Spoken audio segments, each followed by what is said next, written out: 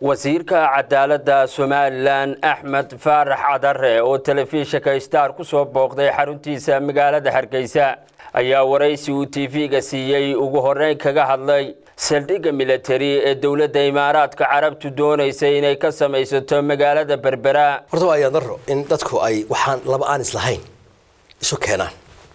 Waa kaafiya kala dheeri.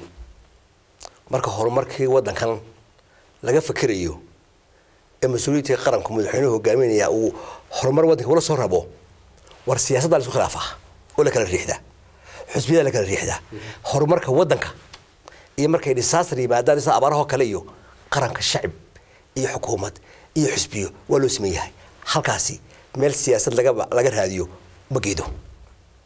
Waa la socotaan. Airboortkan iyo dekedaad ka hadlayso maraykan baa yimi. Wuu dhisay waddankana wax badan buu taray markuu tegaya xilligeena aynu baxan nidhi miyuu qaatay? Ma maraakiib qaaduu leeyahay?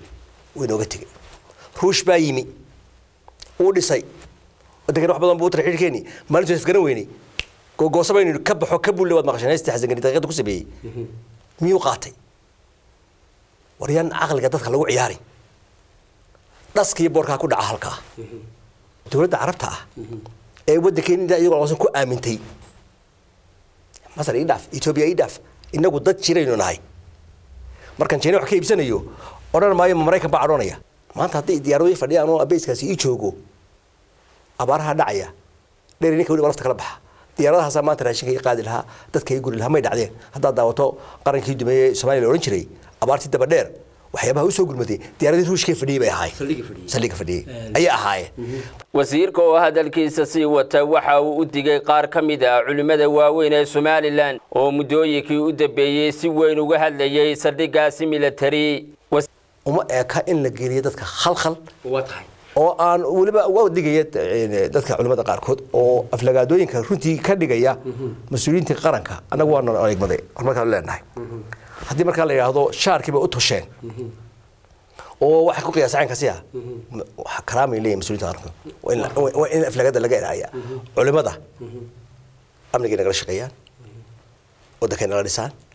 Waxay ku kaga duwanaadeen culimada somaliland culimooyinka kale.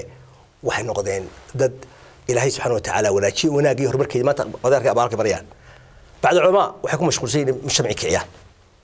Ilaahay ka baqa oo dadka ha kicinina horumarka iyo mas'uuliyadda qarankan madaxweyne loo doortay oo ku suntan u iman haddaad tala hoysaan u keena.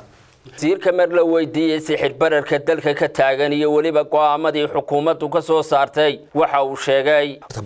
Cid kantaroosha waa adag suuq wado adag yahay sida loo kantaroolaa hase yeeshee waxaa suurto gashay iminka. In lacagayowgii lagu hayay qolalka iyo bakharadu inay bangigiima ku soo xaroodaan hay'adaha amniga ee qaabilsanna waa la howlgeliyey. Waana ilaahay mahadii ma baacmushtarka yaryar mise baacmushtarka waaweyn oo dhame way ka mahadnaqeen waana uga mahad celinaynaa waanay ka howlgaleen. Goobjoogna waan uga hameelo fara badan oo arrintaasi ka suurta gashay. Suuqa yaree weli sii hayana waxaa ku daba jira hay'adihii qaabilsana amniga. Shacabka reer somalilandna waxaanu ogeysiinaynaa amar madaxweyne ayaa soo baxay dalkani wuxuu u baahan yahay in la iska kaashado. Cidda ku soo aragtaan halkaasay odhan soo sheega tallaaba laga qaadayaaye. Ugu dambayntii waraysigan dheer ee wasiirka laga qaaday waxa uu kaga hadlay shaqada wasaaraddiisa iyo weliba kala saaridii garsoorka iyo weliba cadaaladda garsoorku wuu madax bannaanaa sidan uu madax bannaan yahay shuruuc dejinta ee baarlamaanka golaha baarlamanka lasku yidhahdaa ayuu nooga madax bannaanaa. Laakiin bahda cadaaladda wasaaraddu waxay u tahay oday waa xagga siyaasadda guud baa la wadaa lakiin marka laga hadlayo shaqo way madax bannaan yihiin tallaabadii ugu dambeysay la qaadayna waxay ahayd runtii tallaabaan odhanayno lagasigii ugu dambeeyey qaybtii maamulka dhaxalkii ugu dambeeyey wareejintii ugu dambeeyey oo laga tegayey inaanu ku guulaysano oo runtii aan sahlanayn marka hore maamulka waxaanu ku sii samaynay kusimid ilaa dhowr ilaa toban sannadood waxaa dhacday muddadaasi in maamulka hoose ee shaqaalaha aanu gacanta ugu haynay hase yeeshee iminka ay u diyaargaroobeen lagasigii uu madaxweynuhu ka tegayey ee runtii dhaxalkii ha aan idhahda soomaaliga oo ah reformkii ugu dambeeyey isbeddel kala doonaya in dibhaabinta lagu sameeyo cadaaladda. Qaybaha ugu muhiimsana waxaanu arkaynaa anagu imika inaanu dhammaanba ku guulaysanay dibhabayntii cadaaladda. Oo aanu arrimihii garsoorka si dhammaystiran aan u madax banaynay taasi runtii waxay ahayd marka hore way madax banaanay xagga laga hadlayo marka laga hadlayo lama faragelin karo arrimahooda xagga garsoorka.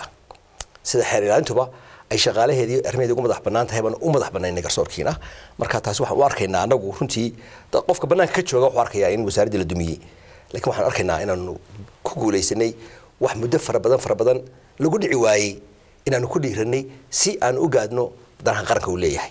Batri koosaar maxamuud telefishinka caalamiga star hargeysa